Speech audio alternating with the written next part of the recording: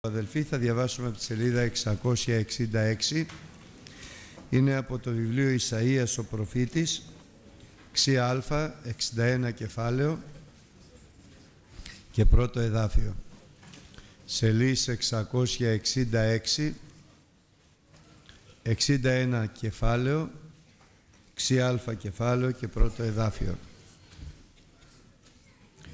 Πνεύμα Κυρίου του Θεού είναι επεμέδη ότι ο Κύριος με έχρισε δια να ευαγγελίζομαι εις τους πτωχούς με απέστειλε δια να ιατρεύσω τους συντετριμένους στην καρδία να κηρύξω ελευθερία εις τους οχμαλώτους άνοιξη δεσμοτηρίου εις τους δεσμίους δια να κηρύξω αυτών ευπρόσδεκτον του Κυρίου και ημέραν εκδικήσεως του Θεού ημών δια να παρηγορούσω πάντα στους πεθνούντας διαναθέσω εις τους πενθούντας εσιών, να δώσω εις αυτούς ωραιότητα αντί στάχτης, έλεον εφροσύνης αντί του πένθους, στολήν ενέσεως αντί του πνεύματος της ακιδείας, δια να ονομάζονται δέντρα δικαιοσύνης, φύτευμα του Κυρίου εις δόξαν αυτού. Και θέλουσιν ανοικοδομήσει τας σπαλαιάς ερημώσεις, θέλουσιν αναγύρει τα αρχαία ερήπια, και θέλουσιν ανακαινήσει τα σερήμους πόλης, τα σερημωμένας από γενεάς γενεών. Και αλλογενείς θέλουσιν ίσταστε και βόσκοι τα πίμνιά σας και ή των αλλογελών θέλουσιν είστε η γεωργή σας και η αμπελουργή σας. Σεις δε ιερείς του Κυρίου θέλετε ονομάζεστε. Λειτουργούς του Θεού ημών θέλους σας λέγει. Θέλετε τρώγει τα αγαθά των εθνών και στην δόξαν αυτών θέλετε καυχάστε. Αντί της εσχήνης σας θέλετε έχει διπλάσια και αντί της ετροπής θέλετε έχει αγαλίεσιν εν την κληρονομία αυτών. Όθεν εν τη γη αυτών θέλουσι κληρονομήσει το διπλόν αιώνιος εφροσύνη θέλει είστε εις αυτούς. Αμήν. Προφητικά λοιπόν ο Λόγος του Θεού φανέρωσε την έλευση του Ιησού Χριστού, του κεχρισμένου, του Μεσσία, που δεν είναι άλλος, αν και δεν τον γνώριζαν, από τον Ιησούν, τον Υιόν του Θεού του Ζώντος. Προφητικά λοιπόν ο Λόγος του Θεού αποκαλύπτει τα μέλλοντα να συμβώσει στην ανθρωπότητα. Και όλα ξεκίνησαν με μια ταπεινή αδελφή τη Μαρία και Αγία την οποία ο Θεός εξέλεξε προκαταβολής κόσμου για να την χρησιμοποιήσει σαν σκεύος εκλογής Του ώστε ο Θεός να έλθει εν σαρκή. Η Παρθένος να συλλάβει ιών. Και όλα έγιναν και συνεχίζουν να γίνονται δια Πνεύματος Αγίου. Συνελήφθη, εγεννήθη παρέμεινε στην υποταγή του νομιζομένου πατρός του Ιωσήφ και της μητρός του μέχρι να έρθει το πλήρωμα του χρόνου όπου ο ίδιος ομολογεί ότι ο γεγραμμένος λόγος πνεύμα Κυρίου είναι επεμέ διότι ο Κύριος με έχρισε να λάβει χώρα εκεί την ώρα της βάφτισής του κατά το θέλημα του Θεού από τον Ιωάννη το βαφτιστή όταν το, το πλήρωμα της θεότητος απεκαλύφθη στην ανθρωπότητα. Η φωνή του Πατέρα ούτως είναι ο Υιός μου ο μονογεννήσης τον οποίον ευαρεστήθην διότι έπραξε και πράττει κατά πάντα το θέλημα του Θεού καθώς ο Θεός έγινε άνθρωπος και ευαυτίστη υπό ανθρώπου κατά το θέλημα του Θεού το Πνεύμα του Θεού εν είδη περιστεράς ήρθε και έπεσε και έκατσε επάνω του αποδεικνύοντας ότι αυτός είναι ο Υιός του Θεού του Ζώντος και ενώπιον όλων των δυνάμεων απεκαλύφθη το μέγα του το μυστήριο ότι πνεύμα Κυρίου του Θεού είναι επεμέδιο ότι ο Κύριος μέχρισε αλλά εκείνο που έχει σημασία είναι να δούμε σήμερα την αποστολή του Ιησού του Ναζωραίου την αποστολή του και χρησμένου, την αποστολή του Χριστού στους ανθρώπους όλους, αλλά και ποια είναι η αποστολή του και σε μας σήμερα και πάντοτε όσο υπάρχει ο ουρανός αυτός και η γη. Έχει μια συγκεκριμένη αποστολή προσδιορισμένη άνωθεν όπως λέμε προκαταβολής κόσμου. Συγκεκριμένη αποστολή. Με έχρισε πρώτον για να ευαγγελίζομαι εις τους φτωχούς, να φέρω τα, την καλή αγγελία ότι υπάρχει σωτηρία, υπάρχει αιώνια ζωή, υπάρχει ελπίδα ότι ο διάβολος αν και είναι άρχον του κόσμου τούτου και είναι παντοδύναμος και ο άνθρωπος δεν έχει καμία εξουσία απέναντί του είναι δυνατόν να νικηθεί υπό του ασθενούς αδυνάμου ασήμαντου ανθρώπου που θα δεχθεί όμως το Χριστό και μπορεί να νικηθεί εν το ονόματι του Ιησού Χριστού. Καλά νέα. Με απέστειλε να ιατρεύσω τους συντετριμένους στην καρδία. Μέσα σε αυτόν τον κόσμο που ζει η ανθρωπότης ιδιαίτερα τις έσχατες μέρες μόνο ο Χριστός μπορεί να θεραπεύσει τη συντετριμένη καρδιά των ανθρώπων τους ανθρώπους με συντετριμένη καρδιά. Μόνο ο Ιησούς Χριστός μπορεί να ελευθερώσει τους εχμαλώτους, τους δικαίους εχμαλωτιστέντας, καθώς μόνο ο Ιησούς Χριστός μπορεί να δέσει τον ισχυρό, τον διάβολο, για να ελευθερώσει τους δικαίους εχμαλωτιστέντας. Γιατί μπορεί να είναι παντοδύναμος ο διάβολος ενώπιον των ανθρώπων, αλλά είναι αδύναμος εντελώς ενώπιον του Κυρίου των δυνάμεων. Και καθιστά όλους τους ανθρώπους ισχυρούς εν το ονόματι του Ιησού Χριστού τον ισχυρό να τον νικάνε, να τον δένουνε, να τον διώχνουνε με την εξουσία που εδόθη από τον Πατέρα στον Ιησούν Χριστόν και στον ουρανό και στη γη αλλά και με την εξουσία που ο Ιησούς Χριστός δίνει στον κάθε έναν που δέχεται, εμπιστεύεται Αυτόν στη ζωή του. Ακόμη και τους δεσμίους, τα βαθιά δεσμοτήρια έχει αποστολή να ανοίξει τα δεσμοτήρια και να τους ελευθερώσει να κηρύξει, να αποκαλύψει, να φανερώσει ότι έρχεται ο Κύριος να παραλάβει μία εκκλησία αγία, τέλεια, ένδοξο μη έχουσα κοιλίδα ή ρητίδα ή των τιούτων και ακόμη να αποκαλύψει ότι στη συνέχεια θα υπάρχει και μία ημέρα που θα κρίνει ζώντες και νεκρούς μία μέρα εκδικήσεως του Θεού ημών αλλά έχει και άλλη αποστολή για την οποία σήμερα, με την οποία σήμερα θα ασχοληθούμε ιδιαίτερα. Να παρηγορήσει όλους τους πενθούντας, όλους τους πεφορτισμένους, όλους τους τεθλιμμένους, όλους τους απογοητευμένους, όλους τους απελπισμένους. Είναι αποστολή του, έργο του καθώς είπε εγώ εργάζομαι έως τώρα και ο πατέρας μου εργάζεται. Το έργο του είναι αυτός να παρηγορήσει ώστε οι παρηγορηθέντες να μπορούν και αυτοί να παρηγορήσουν. Αλλά υπάρχει μία διαφορά ουσιαστική. Ναι, ο Ιησούς Χριστός έχει την εξουσία, τη δύναμη, τη θέληση, την αποστολή, το έργο να παρηγορεί τους πενθούντας αλλά ιδιαιτέρως για τους πενθούντας ένσιον έχει προνοήσει ιδιαίτερο έργο. Υπάρχει δηλαδή, υπάρχουν δηλαδή οι πενθούντες εν γέννη, αλλά υπάρχουν και οι πενθούντες μέσα στην Εκκλησία. Να προνοήσει, να πενθήσει, να παρηγορήσει. Το πένθος έχει κυριαρχήσει τις καρδιές των ανθρώπων. Έχει απελπίσει. Καταστρέφει. Καταθλίβει.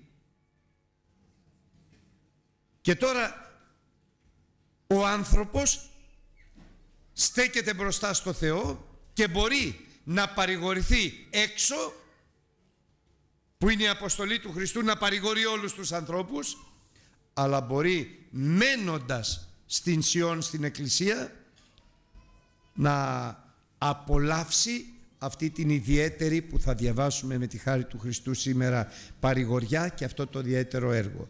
Και γιατί το λέει ο Χριστός.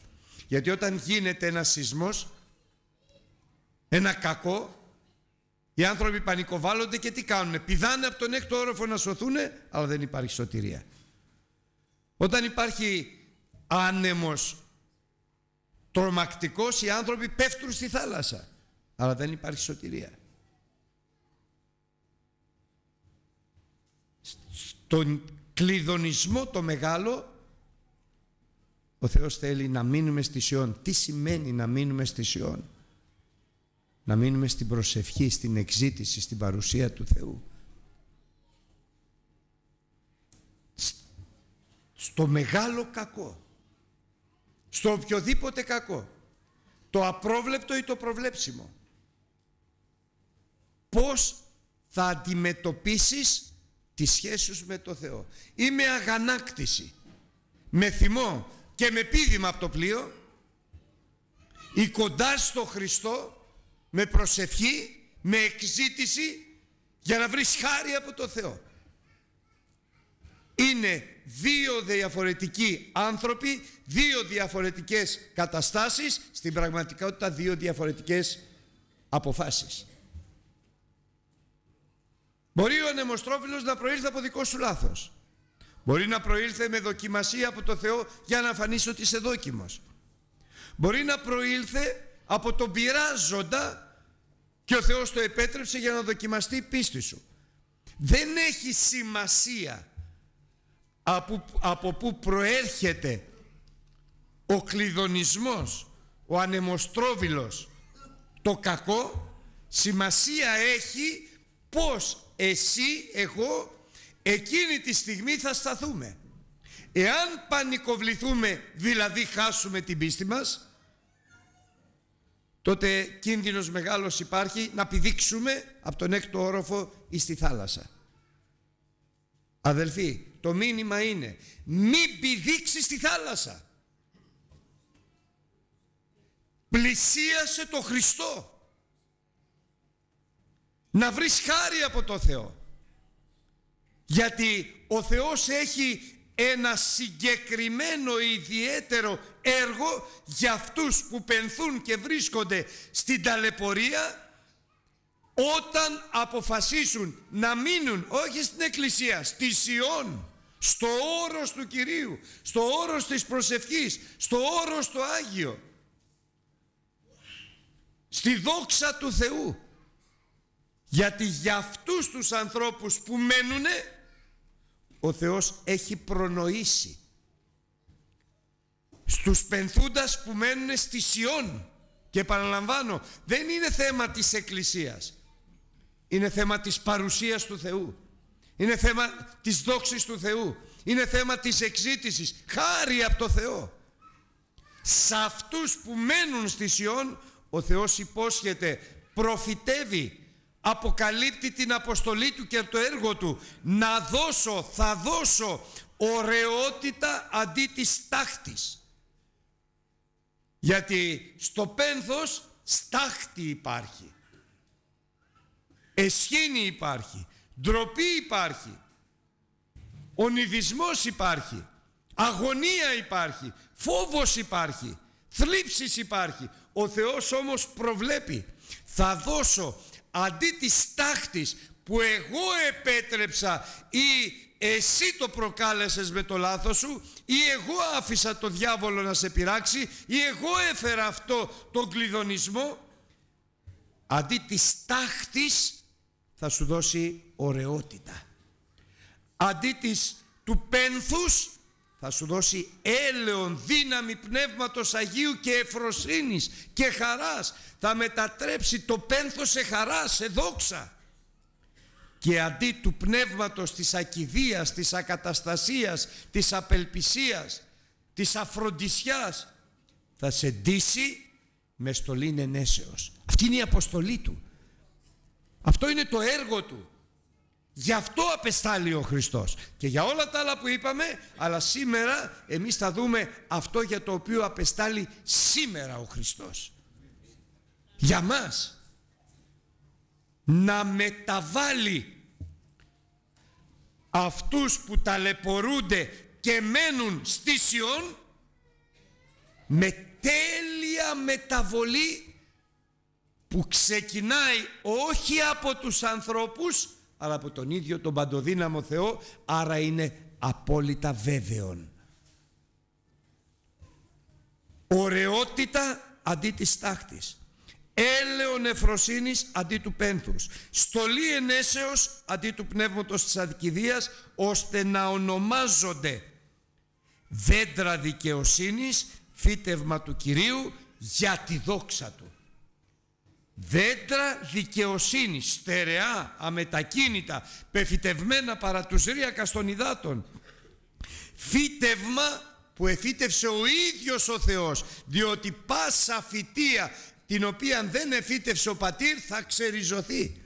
Αλλά αυτή τη φυτεία των πενθούντων και παραμενόντων με πίστη, με εξήτηση στην παρουσία του Θεού αυτή τη φυτεία την εφύτευσε ο ίδιος ο Θεός.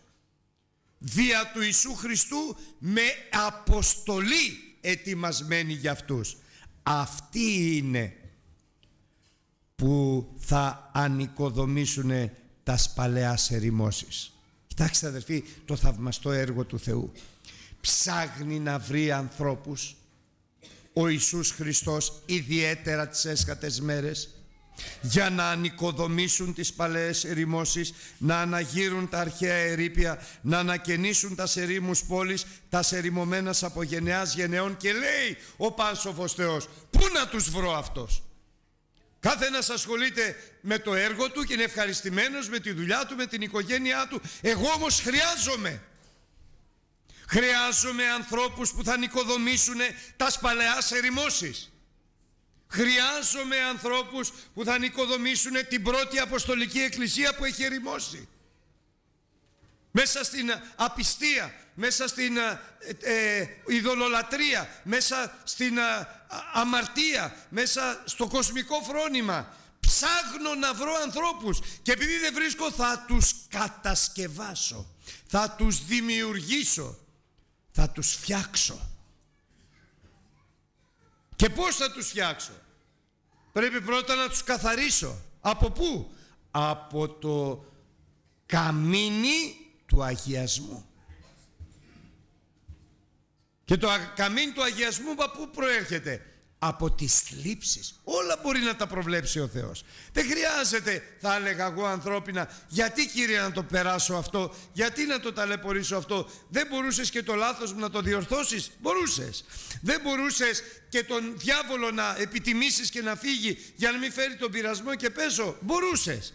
Δεν μπορούσες Κύριε τη δοκιμασία να την αναβάλεις και με την παιδεία μόνο και την ουθεσία να με εκπαιδεύσεις; Μπορούσες. Γιατί; Γιατί πρέπει να σε καταστήσω σκεύος εκλογής μου αγιασμένο, ετοιμασμένο και ευχριστό για κάθε έργο αγαθό. Πρέπει να σε φτιάξω, να σε πλάσω, να σε δημιουργήσω και δεν μπορεί να μην περάσεις για να αγιαστείς από το καμίνι της θλίψεως. Αλλά τώρα σπούδασον τον εαυτό σου να φανείς δόκιμος εις τον Θεό. Πού στο καμίνι της θλίψεως. Εργάτης ανεπέσχυντος. Μην αρχίζεις και λες ψέματα. Μην αρχίζεις και κατηγορείς. Μην αρχίζεις και επικρίνεις και κατακρίνεις. Μην αρχίζεις και κάνεις τέτοια πράγματα. Θα είσαι έξω από αυτούς που ετοιμάζει ο Θεός. Γιατί κανένας μας αδερφοί δεν μπορεί να επέμβει στη ζωή του ανθρώπου. Μόνο στην προσωπική μας ζωή μπορούμε να επέμβουμε. Και αν χρησιμοποιήσουμε πονηριές, πανουργίες, κατακρίσεις, κρίσεις, κουτσομπολιά, είμαστε εκτός. Και δεν μας βγάζουν άνθρωποι. Ο Θεός μας βγάζει. Αν και ο Θεός θέλει, μέσα να είμαστε. Θέλει λοιπόν να δημιουργήσει ανθρώπους. Και από πού θα τους βρει; Από την εκκλησία του, από τα, Ιερουσαλή, από τα Ιεροσόλυμα, από την Ιερουσαλήμ. Ποιους; Αυτούς που μένουν και κατοικούν στη Σιών. Παρόλες στις θλίψεις. Αφού λοιπόν περάσεις από το καμίνι της θλίψης και φύγουνε τα περιτά, τότε έρχεται η αναδόμησης. Τότε έρχεται η μεταμόρφωσης. Τότε έρχεται η επέμβαση του Θεού προς ύψωση, ευλογία και δόξα δική Του. Να λοιπόν ωραιότητα αντιστάχτης. Να λοιπόν έλεον εφροσύνης αντιπένθους. Να λοιπόν στολή ενέσεως αντιπνεύματος ακιδείας. Να λοιπόν το φύτευμα του Κυρίου. Φυτευμένο με τα ίδια του τα χέρια για τη δική του δόξα. Υπάρχει βέβαια και ο άλλος τρόπος. Εγώ θα τα καταφέρω. Αλλά αυτός είναι ο τρόπος του Ισάθ.